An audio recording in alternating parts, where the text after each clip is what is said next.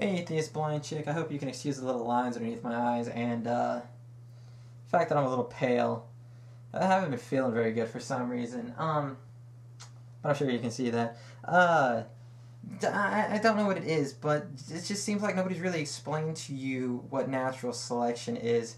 And you being a YouTube atheist as well, I thought it, it, it, would, be, it would be wrong for me not to explain to you what it is. Um, just something I've noticed, and may, maybe other YouTubers have noticed this as well, that she just doesn't quite understand what natural selection is. Um, so let me explain it to you, at least from what I've studied. Uh, natural selection uh, states that the organisms that can fit to their environment tend to survive, and the ones that can't die, let's be honest, gruesome deaths.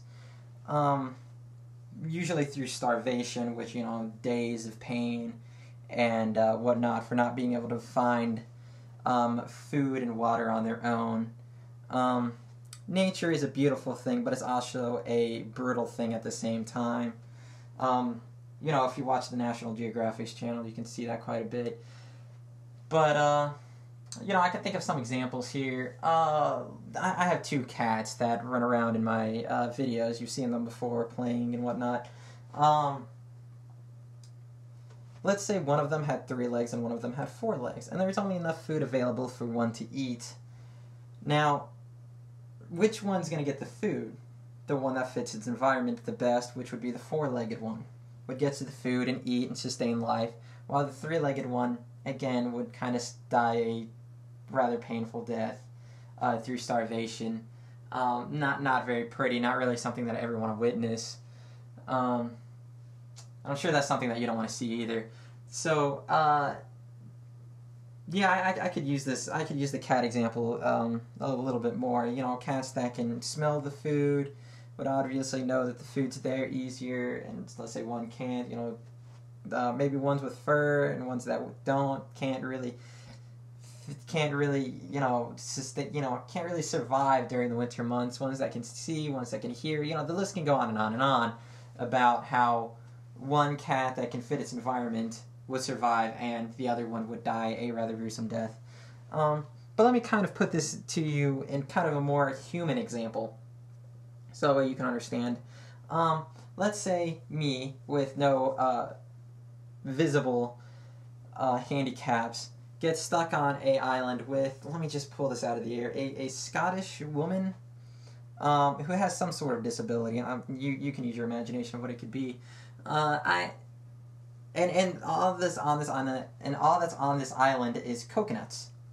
Um, and I can see the coconuts and I can climb up and I can get to the coconuts. But let's say this Scottish woman, um, I, I, believe is what I decided to use. Uh, she couldn't uh, see the coconuts for whatever reason. I'm sure you could be creative and think of something. She couldn't see the coconuts, and there's only enough coconuts for me to survive. Um, natural selection would say that I would survive because I would be able to climb up and get the coconuts and eat, um, and there's not enough to share, so uh, I would survive. And this poor little Scottish woman who has some sort of disability would die. Um, again, some sort of gruesome death uh, through starvation. Um, that's kind of a human example of it. So I hope you understand a little bit more about natural selection.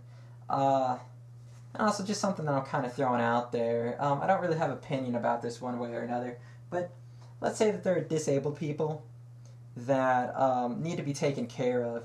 Is it right for a um, person who doesn't have a disability to be kind of chained down to somebody who does, who has to take care of a disabled person? Is that is that fair? Is that right? Just throwing this out there. Um, yeah, I'm not gonna give you my opinion on it, but um, yeah. All right, so atheist blind chick, I, I hope that you uh, have learned something new about natural selection. And if you have any questions, of course, my uh, PMs are always open to you. Um, well, real quick, let, let, let, me show you this little chart here. Um, it kind of explains it better than I ever could, this little chart. Uh, there's really no explanation that needs to go on with this chart because you can see obviously what's going on here. Um, well, I will see you later. Peace.